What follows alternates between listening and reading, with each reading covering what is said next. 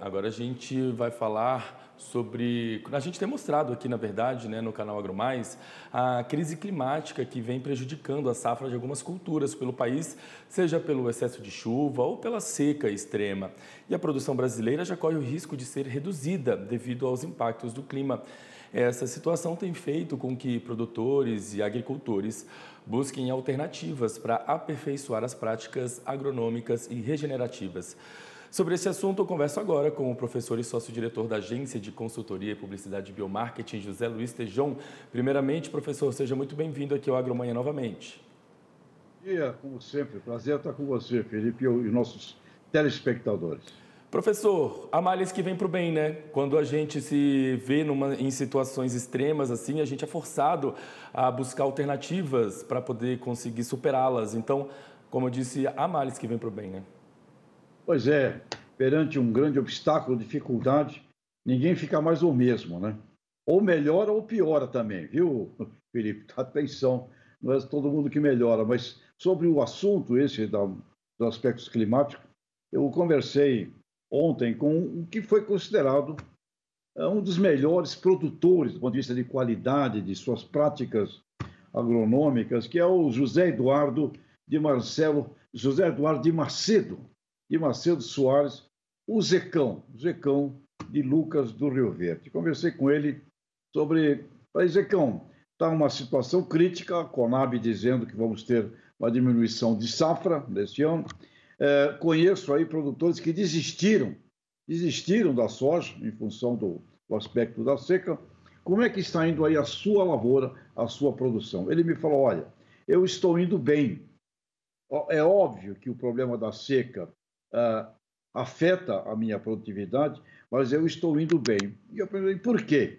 E aí ele me deu uma pequena aula, Felipe, das práticas regenerativas. Aliás, esse é um nome que o Zecão até não gosta muito, sabe? O regenerativo. Ele, ele disse que ele foi formado na, pela educadora Ana Primavesi, né, uma agrônoma austríaca que deu aula na Universidade Federal de Santa Maria, no Rio Grande do Sul, e ela tinha um nome para essas práticas que eram uma agricultura conservacionista. Né?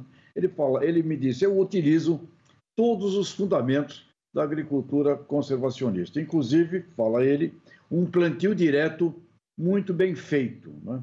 E quando o plantio direto não é bem feito, você só pega lá a palhada do milho, deixa ali e tal, você não tem efetivamente uma proteção do solo. O solo não está protegido, não retém, não retém a, água e fica mais aquecido. E segundo o Zecão também, o problema da temperatura é que ele destrói micro-organismos fundamentais para a fixação do nitrogênio no solo. Portanto, o Zecão de Lucas do Rio Verde, ele falou: tem muita gente me ligando, muita gente me visitando, então quero deixar aqui uma dica aqui para todos os nossos as nossas produtoras e produtores, fundamentos da agricultura regenerativa bem aplicados ou conservacionistas, né, com muita ênfase num plantio direto muito bem feito, como diz uh, o Zecão, é fundamental para enfrentarmos essas incertezas climáticas. E o Zequiel perguntei aí, tua produtividade.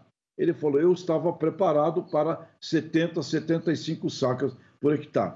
Não vai ser, mas não vai ser também tão ruim assim, porque ele está preparado. E ele faz isso já há muitos anos. Então, Felipe, a dica aqui é há males que vem para o bem. E eu ouvi isso do Zecão de Lucas do Rio Verde. Ele me dizendo, muita gente agora preocupada em como fazer muito bem feito essa prática dessa agricultura tropical, que foi a doutora Ana Primavera, austríaca, e chegando no Brasil, viu que a gente fazia lá nos anos 60, 70, uma agricultura tipo europeia, numa condição tropical que não havia sentido nenhum, e começou a desenvolver esses fundamentos que hoje foram aprimorados e estão aí é, chamados como agricultura regenerativa. A lição do Zecão de Lucas do Rio Verde, eu não tenho dúvida que é uma boa iniciativa, porque produtoras e produtores, a gente não domina as coisas fora da porteira das nossas fazendas e também nem o velho